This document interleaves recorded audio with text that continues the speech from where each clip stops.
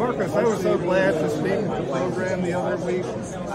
What What's your impression of the INZECTO mosquito trap now? Well, Doc, um, I I've been um, looking at the trap for quite some time now. You forever, uh, Roberto and Enrico, and uh, we actually got a batch of the traps, uh, two boxes, uh, and they we have been testing them in Truly Nolen, Brazil, and the results so far are phenomenal. They're good, and uh, we're happy with it. Well, that's good to hear. Sometimes, you know, we do research in the lab and it doesn't quite pan out in the commercial bands, but it sounds like you're able to use them effectively. Yeah, absolutely. Yes, I agree.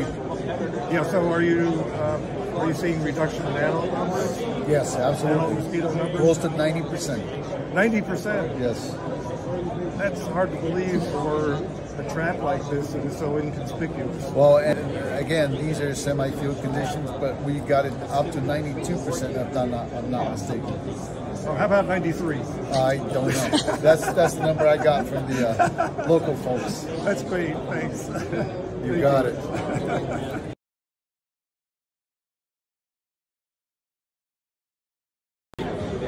Hey everybody, we're here at PestWorld in Boston. and I'm here with Robert Pittman, the owner of Tuxedo Mosquito.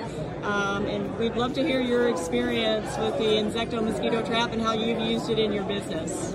Sure, yeah, we rolled out INZECTO this year, uh, a little bit uh, unsure of how it might actually work, but we've had phenomenal results and bold claims to the positive from all of our customers about it.